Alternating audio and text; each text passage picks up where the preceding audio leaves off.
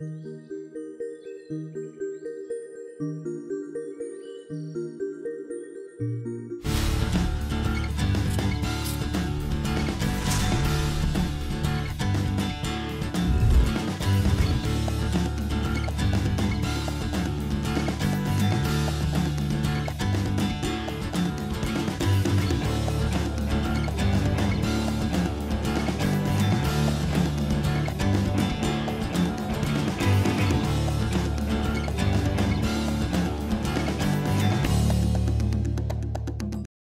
We live in what's called now a postmodern culture.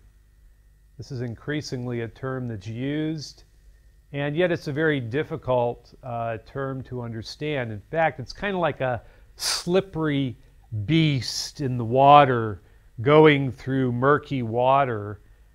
And postmoderns really don't even like to be described with words. They would rather be like a teenager who says, Now don't put me in any categories. And so there is some truth to that, but yet there are some characteristics of the modern world, and there are some characteristics, I think, that we can see of the postmodern world and how the generation that is my age, 60 and older, largely function more in a modern world, and those that are 40 and under are functioning more and more in a postmodern world.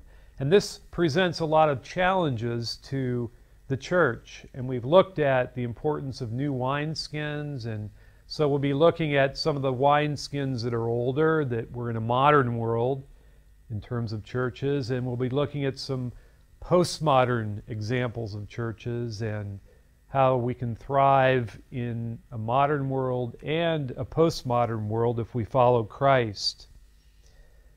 Uh, there's a book by Leonard Sweet, and it's called Postmodern Pilgrims.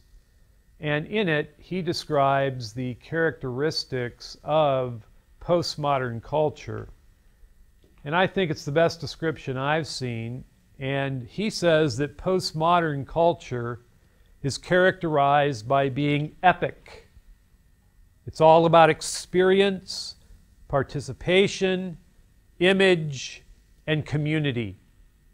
And then I devised kind of the corresponding idea of, well, what does the modern world look like?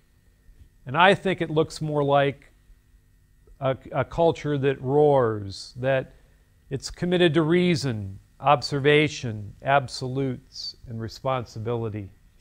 And so that's what we're going to develop a little bit is uh, the difference between the church in a modern culture and the church in a postmodern culture. So let's look at this first area, and that is the modern church that's committed to reason.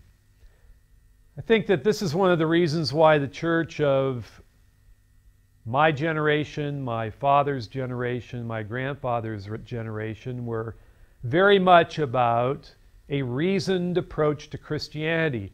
Apologetics was very important. Clear Bible teaching in churches was very important. Traditional hymns that were full of words that communicated reasoned ideas were very important. And this is very characteristic of churches in the modern world. In the modern world, people want to master a subject, and so master's degrees were very important. Experts were very important because it was very much about reason and understanding and digging deeply into subjects. And that's very much like the modern world, committed to reason. The postmodern world is different. This next generation for me is not against reason, but they've rejected the idea of what's called meta, uh, meta narrative. Meta narrative is a technical term that is used in this whole area. And a meta narrative is supposedly a big story like uh, science or capitalism or Christianity are seen as meta narratives, big stories that supposedly interpret everything. Again, reason. But the postmoderns are saying, no, we don't like this meta narrative. we want to experience life in daily life and what's there for us. So, where the uh, modern world might collect degrees like PhDs and master's degrees, the postmodern world likes to collect experiences. And so that's why so many postmoderns love to travel. And they talk not so much about maybe every book they've read or every degree they got or every kind of scientific thing they've investigated, but they talk more about hey, have you been to Paris? Hey, have you been to um, America? Have you been to Chicago? Have you been to Moscow? Have you been to um, Spain? And because people like to create and ex- create and collect experiences. That's very postmodern.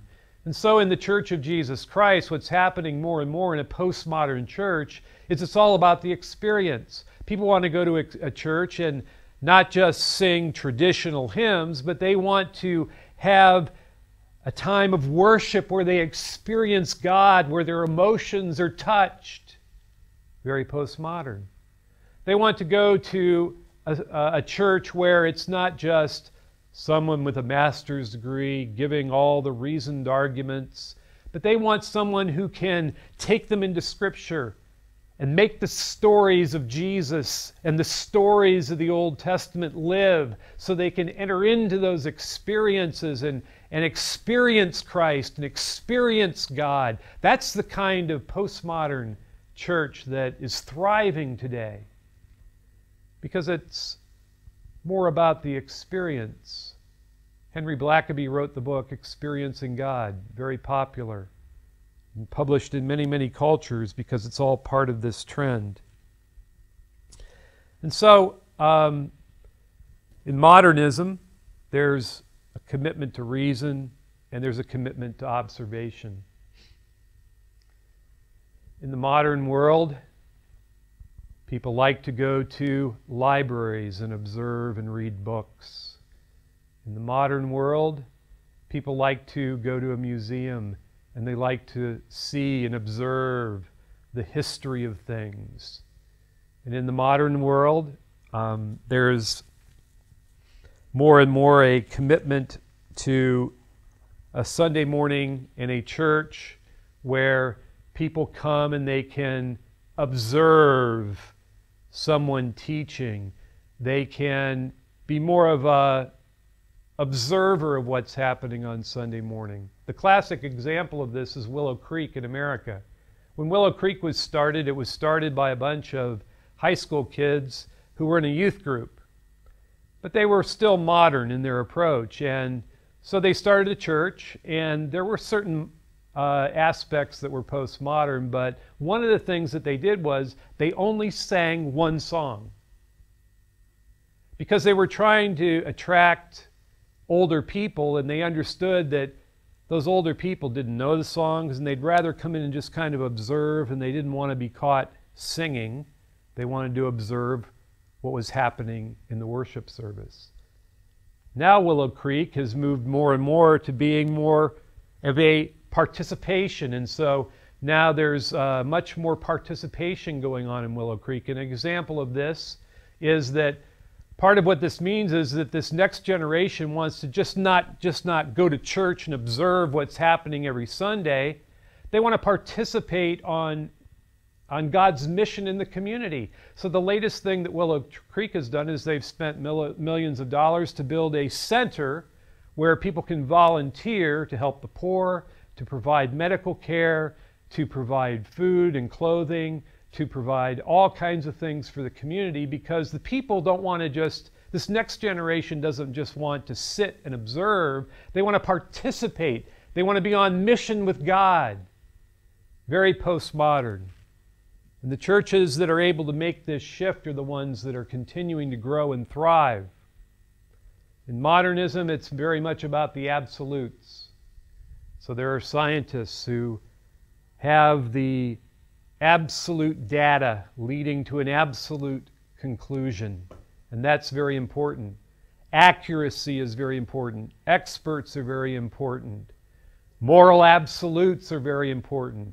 Right and wrong. And so it is that my parents and, and their parents lived in a very much in a right or wrong uh, universe where these absolute truths and absolute moral values were clearly articulated and clearly defined.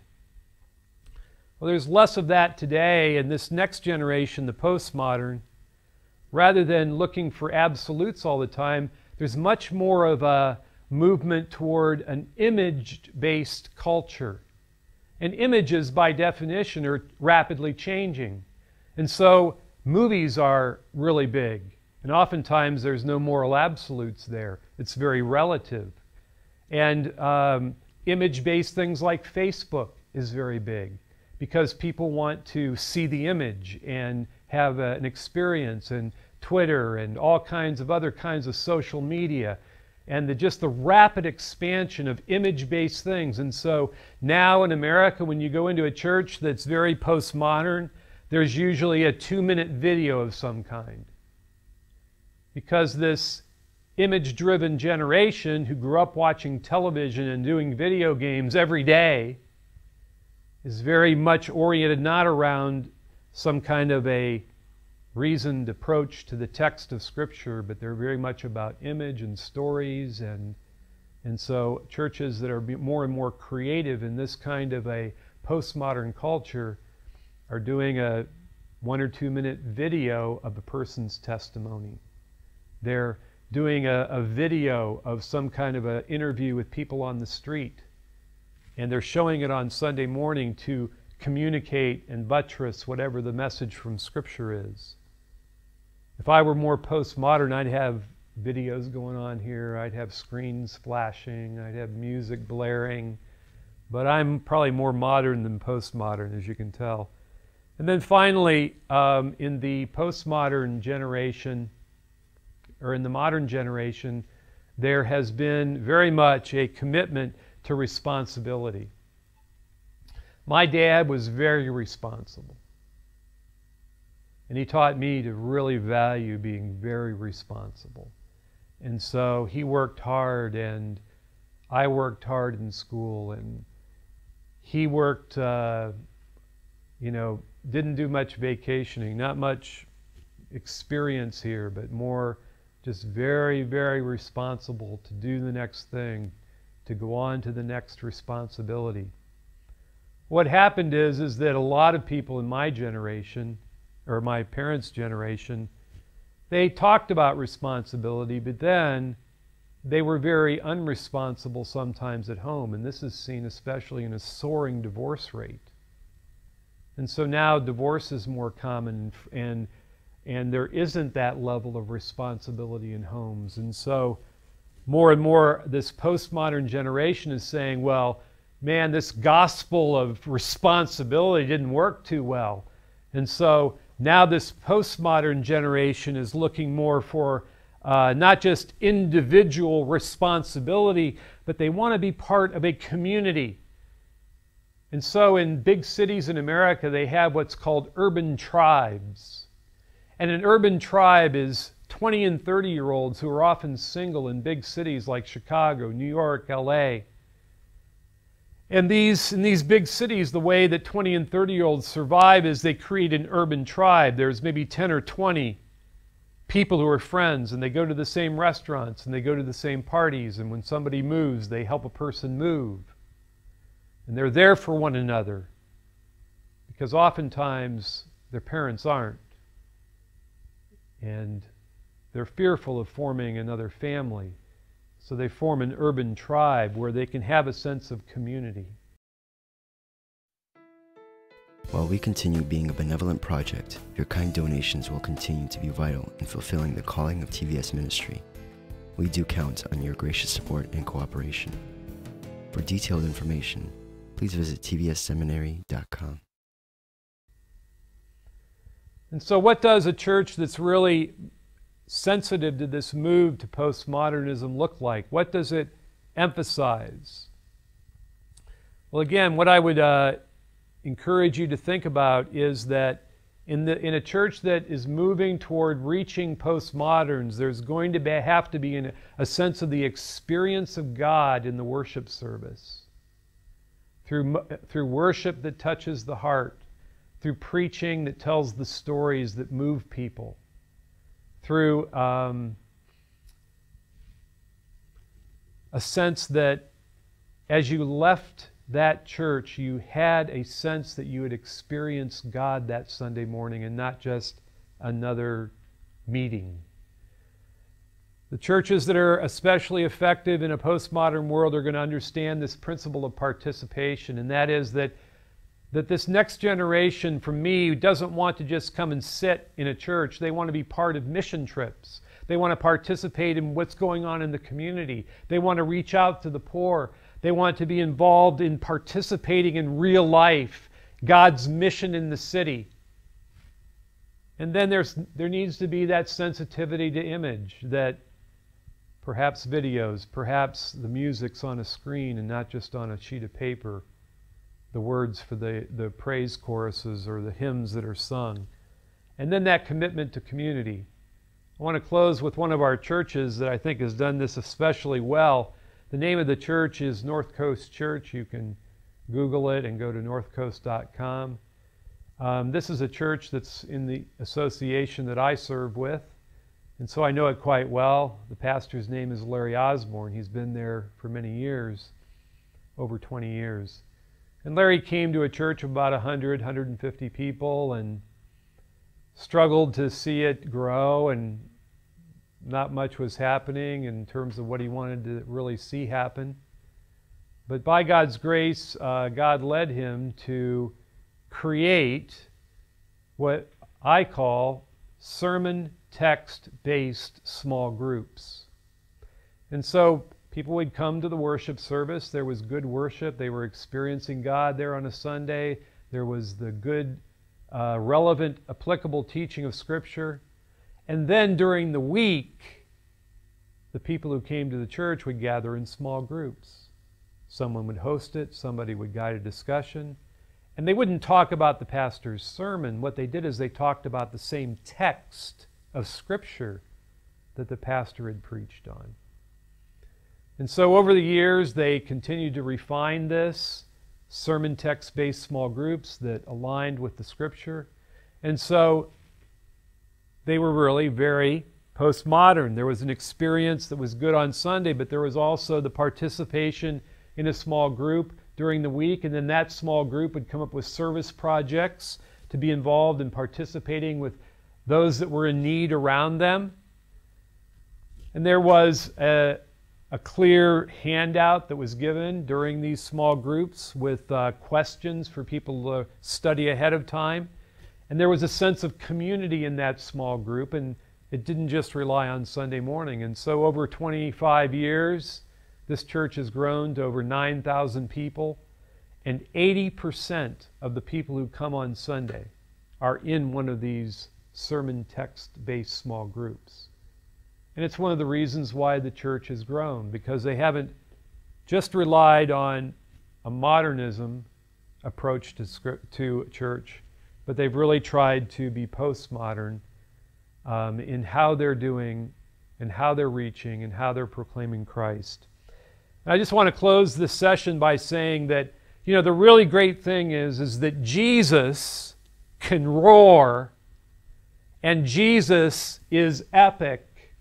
It doesn't matter what culture or world we're looking at, Jesus is alive and Jesus is impacting people right where they are. There's nothing more reasonable than the Logos. There's nothing more observable than what God has done in the, this world and nature and all the different things God has done through history. There's nothing more beautiful than the moral absolutes of Scripture and the truth that is embodied in Jesus Christ. There's no one more responsible than Jesus Himself. And yet at the same time, we also see that do you want to have the greatest experience there is in the world today, then get involved in the adventure of the wild goose chase. Get involved in following the Holy Spirit. Get involved with finding every day Jesus saying, Lo, I am with you always, even to the end of the age. That the risen Christ, we can experience him every day. That we can participate in what God is doing in our world. He can lead us in terms of how to serve and how to be dynamic and Jesus is the icon of God. He's the image of the invisible God. He is the one who brings to us what the Father is. He who has seen me has seen the Father, Jesus said. Paul calls him the icon of God. He is the one that brings us the reality of God, and we see God in the face of Christ. Father, Son, and Holy Spirit. Certainly, Christ is that icon of God. And then the sense of community, He created the church. In every age, the church is that community that we're hungry for. And so, isn't it great to know that when we follow Jesus Christ, we are following one who can roar? He's the lion of the tribe of Judah, and he's also epic. His resurrection appearances to his apostles and to his disciples, we might not see him face to face yet, but we can experience him in our daily life as we walk with Him in the presence of the Holy Spirit.